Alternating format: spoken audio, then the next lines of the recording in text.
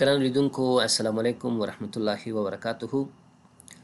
نن غواړم تاسو سره په یو بل مهمه موضوع باندې خبرې وکم هغه دا چې څنګه کولای شي تاسو خپل آفیس پروګرامونه مفت رجستر کړئ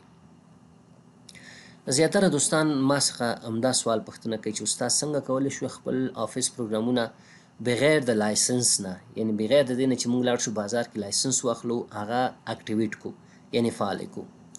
کله چې تاسو افیس 2019 خپل کمپیوټر کې انسټال کړئ د یوې هفتې پورې هغه په شکل د ټرایل تاسو ته کار کوي که یو فایل ایډیټ کوئ که یو فایل جوړوئ مشکل نشته پکې خو کله چې یو هفته پوره شي د هغه نه وروسته بیا ستاسو افیس پروګرامونه کار نه کوي او که چیرې تاسو غواړئ چې معلوم کړئ چې زمونږ افیس پروګرامونه رجسټر دي یا اکټیویټ دي کنه دي لاړ بشئ که ورډ پروګرام یې که ایکسل یې که هر پروګرام یې فایل مینو ته به لاړ شئ الته به وګورئ فایل مینو کې یو کمانډ په نوم د اکاونټ الته چې لاړ شئ تاسو ته معلومات راکوي چې تاسو اکټیویشن شوی دی کنه دی شوی که چیرې تاسو افیس پروګرامونه اکټیویټ نه نو داسې یو میسج راکوي اکټیویشن ریکوایرډ په دې معنی چې تاسو افیس پروګرامونه اکټیویټ نه دي دا اکټیویټ کړئ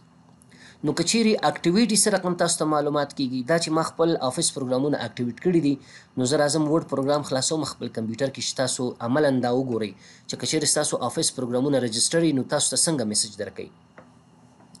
نو اول خو دا ده چی کله زه خپل افس پروګرامونه خلاصوم دلته ماته کوم خاص میسج نه راکوی ډایرکټ ماته ورډ پروګرام خلاصیږی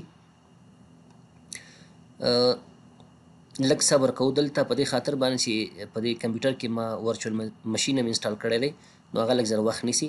د مثال په تور دا اوس وګوره ما ته هېڅ میسج رانه کړ ډایرکټ ما ته ورډ پروګرام خلاص شو ما دلته بلینک ډاکومنټ واغستو د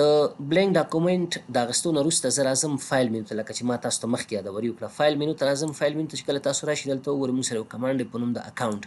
په اکاونټ کې ما ته زما د دې آفس اکاونټ په باره کې معلومات راکړئ چې دا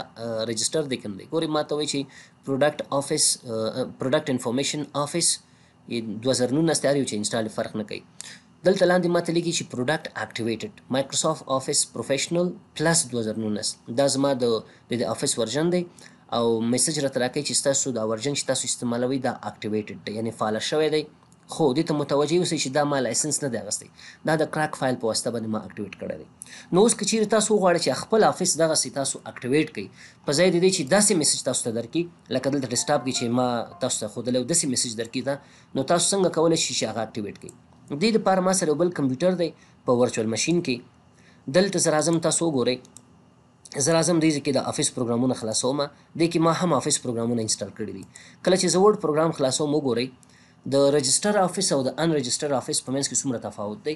یو خدا ده چې په دې اول کې ماته میسج راکړي او دا میسج هغه وخت مونږ ته راکړي چې زمونږ افیس رجستر نه اکټیویټ نه دا اوس وګورئ دا میسج مونږ ته راکړي دا زمونږ افیس رجستر نه دی صحیح شوه زه دا کلوز کوم او دلته بلینک ډاکومنټ باندې کلیک کوم چې کله مې بلینک ډاکومنټ باندې کلیک وکړ نوې صفحه خلاصیږي زه راځم بیا فایل مینو ته فایل مینو ته چې راغلم دلته بیا په اکونټ باندې کلیک کوم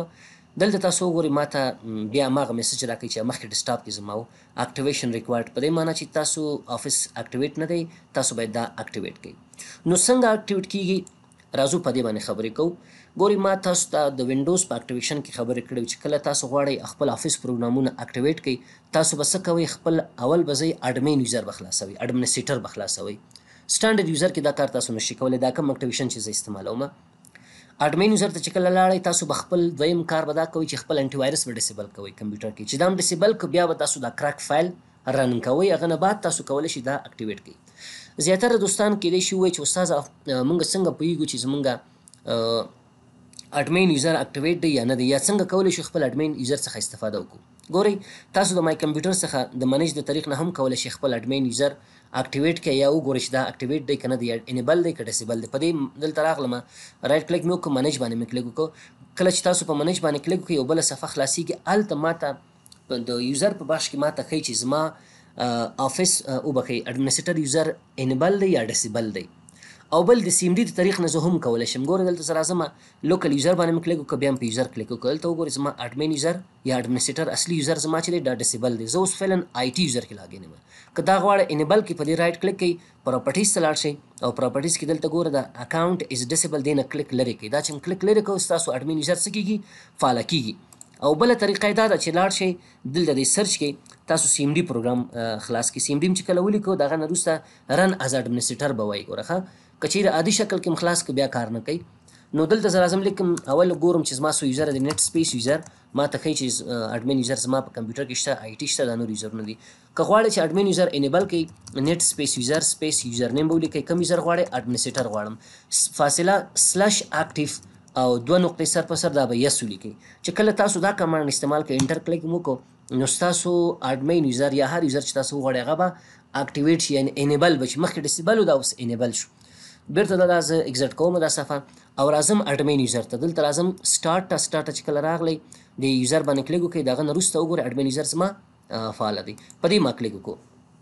اوس زه څه کوم اډمین یوزر ته لاګین کیږم او اډمین یوزر پاسورډ لیکم یو د درې دوه یو د پاسورډ دی دا غن روس تر اعظم څه کوم انټي وایرس ډیسیبل کوم خپل کمپیوټر کې دیز تر اعظم دیز کې وګور ما سره انټي وایرس تیار راغلی په دې به ډبل کلیک وکړئ په دې چې ډبل کلیک وکړو دلته به سو کوي تاسو رابه شي چیرته وایرس ان ټریټ پروټیکشن ته براشي او داغه لاندې لاندې دلته ګوره موږ سره آپشن دی په نوم د منیج وایرس ان ټریټ پروټیکشن سیټینګ دی باندې به کلیک وکړي دا هم چې کلیک کو دا آپشن به ټول ډیسیبل کړي دا وګوره د مخکې نه ډیسیبل وي زما په خیال باندې دا به ډیسیبل کچيري انیبل دا به ټول ډیسیبل کوي ځکه کچيري ډیسیبل دا نه کوي تاسو هغه کراک فایل چې رن کوي دا ډیسیبل کوي پوه شو په خبر باندې نو بیا تاسو هغه رن کولای نشی د هغه نه روسته به راشی ستاسو دا کراک فایل په کوم ځی کی پروت دی ما سره سی ډرایف کی ما کاپی کړی دلته ما سره شته دی راځم سی ډرایف ته ګوری مایکروسافت افیس دوه زره نولس پروفیشنل څلور شپېته بیټ ما انسټال کړی دی په همدی کلیک کوم د هغه نه روسته دی کراک فولډر ته راځم او دی کراک فایل باندې کلیک کوم دی کی بیا ما سره یو بل فایل دی دا وګوره دا پاچ فایل دی دا به ډبل کلیک کوي او دا به رن کوي دا هم چې کله رن کو داسې یو صفحه موږ ته خلاصېږي دې کې به تاسو په ځای د وینډوز اکټیویشن آفس اکټیویشن واخلئ ځکه موږ خپل وینډوز اکټیویټ کړی ده مخکې درس کې موږ په دې خبرې وکړې چې څنګه موږ خپل وینډوز اکټیویټ کولی شو آفس اکټیویشن باندې موږ کلیک وکړو دا پروسه خپل مخکې زی تاسو به دلته نور څه کار نه کوئ او دا صفحه به نه کلوز کوئ دا وینډو چې تاسو خلاص کړئ دا به نه کلوز کوئ دا به پرې دی همداسې لږ زره صبر به وکړئ چې دا پروسه مخکې لاړه شي نو دا د اکټیویشن جریان لري بعضی وخت کې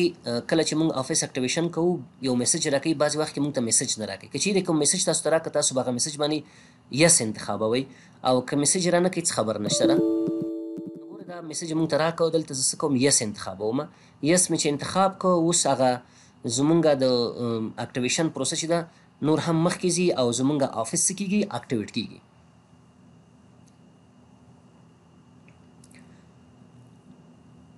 دلته څه کوي په دې مرحله کې دغه زمونږ د آفس پروګرامونه چې دي د آفس 2019 چې مونږ انسټال کړی د دې پروډکټ کی زمونږ په کمپیوټر کې څه کیږي انسټال کیږي او چې کله پروډکټ کی انسټال شي زمونږ آفس اکټیویټ کیږي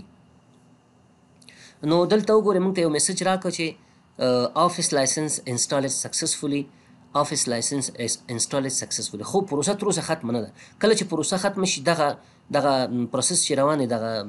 شیپ چې حرکت لري دا به خپل اتوماتیکلی بنديږي چې کله دا اکټیویشن وشي زمونږ کله کله ډیر کم وخت نیسي کله کله ډیر وخت نیسي نو تاسو بلک زره وسیله لرئ دې ته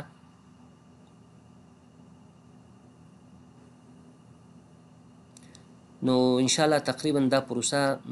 تمام شوه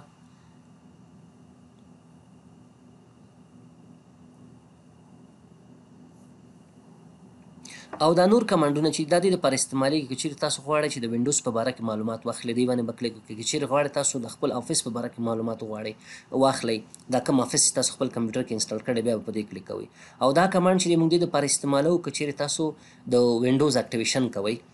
نو پروسه دواړو ته یو شی دی هیڅ تفاوت نه لري فقط څنګه چې مونږ افیس پروګرام اکټیویټ کو دغه سي وینډوز پروګرام هم اکټیویټ کیږي پاتې شو بل خبره د دې سافټویر دی که چیرې تاسو وایي چې استاد دا سافټویر مونږ د کوم ځای کو نو د دې لپاره کولای شي تاسو زما واتس اپ نمبر باندې ماته میسج وکړئ زه تاسو ته دا فارورډ کوم ان شاء الله واتس اپ نمبر ته تاسو دا لیږم نو بیا کولای شي هغه ډاونلوډ کړئ او خپل کمپیوټر کې انسټال کړئ او که کوم سوال یا مشکل سره مخامخ کېدلی عکس یې واخلئ ماته یې وټساپ باندې راولېږئ چې زه وګورم چې مشکل څه شی دی